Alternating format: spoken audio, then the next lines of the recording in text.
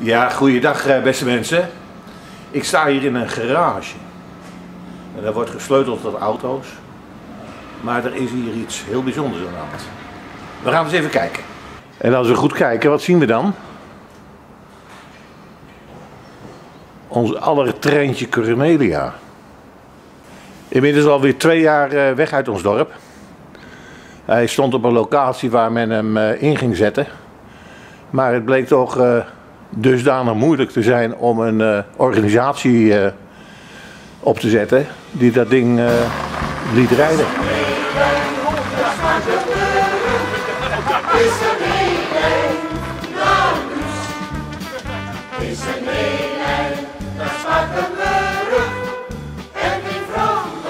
De huidige eigenaar die kwam bij me en zegt van joh, ik wil hem naar deze regio halen.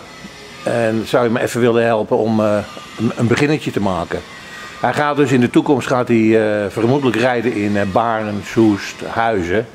En ik heb gezegd, nou het lijkt me wel een leuk idee om de boel op de rails te krijgen. Letterlijk en figuurlijk. Om eens te beginnen met eh, een stukje te rijden op de Truckersdag in Bunschoten-Spakenburg. Daar rijdt de tuk-tuk van eh, Jan Hartog voorop. Wij met het treintje erachteraan. En dan alle vrachtwagens erachteraan. Dat gaan we dus zaterdag doen, als alles lukt. Want ja, dan moeten we, komt het wel het een en ander bekijken. Er moet helemaal nagelopen worden. We moeten rond zijn met de verzekering. En eh, wat heel erg belangrijk is, de vergunning van de gemeente Bunschoten. Want wij mogen natuurlijk niet op de, de rondwegen komen, normaal gesproken.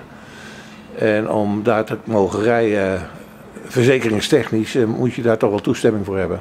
Dus daar is het wachten nu nog op. Dus het zit nog in de wijde zak. Het is vandaag eh, donderdag. En ik hoop dat ze het voor elkaar krijgen op het gemeentehuis om, eh, om dat te regelen voor ons. U zult het zaterdag wel zien.